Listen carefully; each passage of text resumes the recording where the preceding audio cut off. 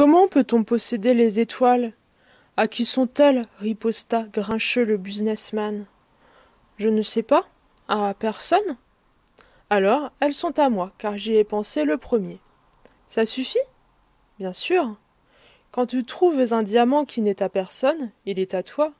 Quand tu trouves une île qui n'est à personne, elle est à toi. Quand tu as une idée le premier, tu la fais breveter, elle est à toi. Et moi je possède les étoiles, puisque jamais personne avant moi n'a songé à les posséder. Ça c'est vrai, dit le petit prince. Et qu'en fais-tu? Je les gère. Je les compte et je les recompte, dit le businessman. C'est difficile, mais je suis un homme sérieux. Le petit prince n'était pas satisfait encore. Moi, si je possède un foulard, je puis le mettre autour de mon cou et l'emporter. Moi, si je possède une fleur, je puis cueillir ma fleur et l'emporter. Mais tu ne peux pas cueillir les étoiles. Non, mais je puis les placer en banque. Qu'est-ce que cela veut dire?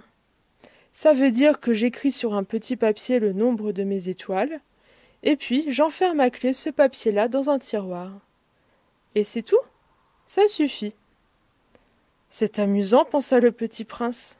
C'est assez poétique, mais ce n'est pas très sérieux. Le petit prince avait sur les choses sérieuses des idées très différentes des idées des grandes personnes.